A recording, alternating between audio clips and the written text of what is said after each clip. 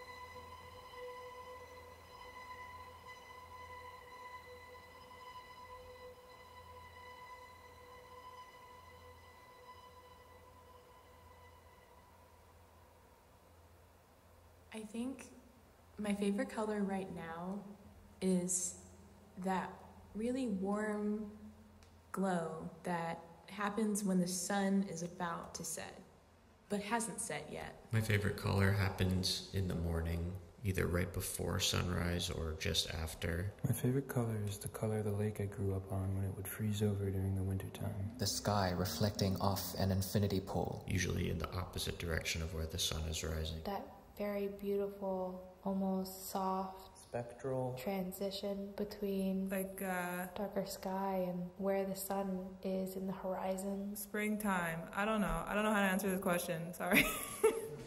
the sun is reflecting off of mountains or a forest or something and it wasn't quite any color just bits and pieces of all kinds of colors complete with small white lines everywhere little cracks and imperfections to me, it's driving down the highway in northern Arizona after a summer storm. There's a light fog or um, dense air layer. Uh, the cool mist that coats the city at the end of a long day. The clouds after a monsoon. There's a softness to it. There's a warmth to it. And something about that color is really romantic. Humans have a need to connect. We developed language as a way to identify, codify, and communicate with each other everything that we know and feel, from the general to the minutiae. But every moment we inhabit is a multi-sensory feast, a cornucopia of stimuli, internal and external, percolating and disappearing all at once and all the time. So, naturally, language fails us. Any attempt to exactly and succinctly describe a moment in a single word becomes a fool's errand. Our need to convey these infinite freeze frames with insufficient tools begets the overlap of our senses and the impossible combinations in our mind. Sounds become places, scents become people, and abstract concepts with no corporeal form can take on textures, shapes, and colors in our attempts to relate what they are, in our efforts to be understood. My favorite color is a comfortable love. I remember the color of my mom's skin. Alive. So warm and comfortable. Encompassing. And so beautiful. It's how I feel knowing I'm loved and cared for by those most important to me. A love for life. It makes you kind of realize, like, hey, not everything is bad. But it really reminds me like uh, I was in Vietnam of my family. I think of home, specifically my uncles, from their chucks to their socks, dickies, shirts, hats, and last but certainly not least, that perfect old crew neck sweatshirt, you know? Expansive, but maybe the sweatpants to match. The type of warmth you feel when you've just woken up. There's an aspect of it that's found in the cycles of the way a rich grassy field soothes your eyes on a sunny day. It's in daffodils who bloom without warrant. The color of seagrass. Flower petals falling from a tree. The edge of the sea overlapping the golden sand on the beach. It's forget-me-nots who are easy to overlook. Deep but bright. And memories of being outside in grade school and running around. Right as the sun starts to set, before the sky has started to deepen its hues. Memories. it's a grain applied to the world, almost as if looking at it through a window. It's one of those kind of colors. Really puts you at peace and puts you in perspective. Something that can remind you how beautiful it can be. I don't know how that makes sense.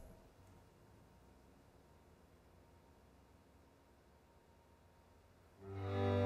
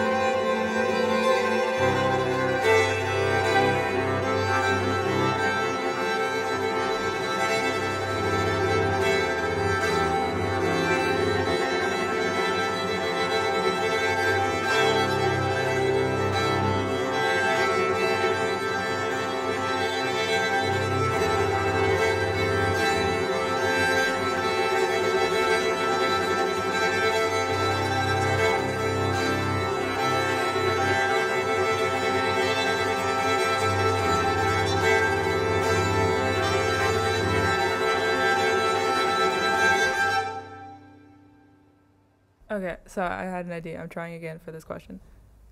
I think I see the full range, although a lot of people, including Alex, argue that I am colorblind.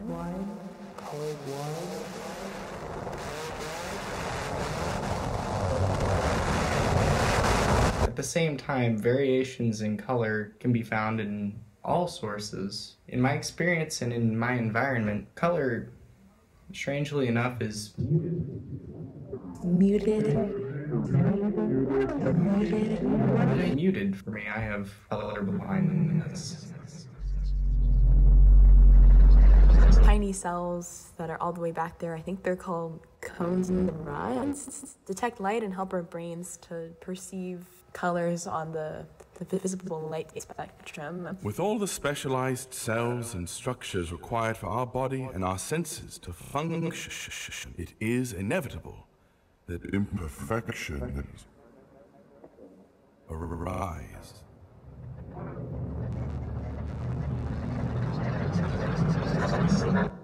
With color blindness, the layers in our eyes are distinguished between different wavelengths. Red, orange, red, yellow, green, blue, Orange. indigo,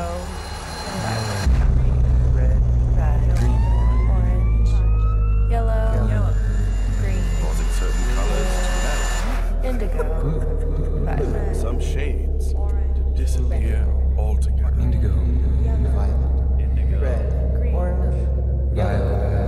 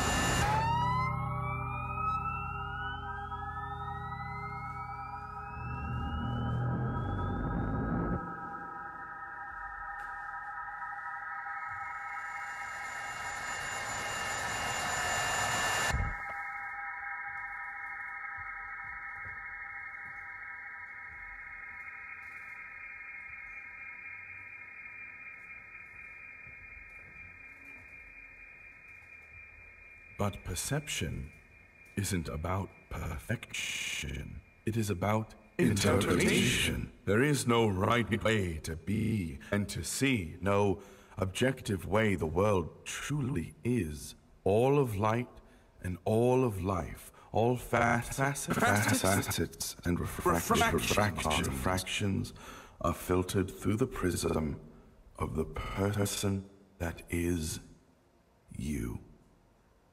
My favorite color is the color of the lake I grew up on when it would freeze over during the wintertime. My favorite color can be found at the edges of all colors. Driving down the highway in northern Arizona after a summer storm. The edge of the sea overlapping the golden sand on the beach. that really, really pretty afternoon sky when the sky is setting. The cool mist that coats the city at the end of a long day. Only you have your eyes, your mind, your experience. What a treat, then, to perceive in a fashion rare and unusual a luminescence.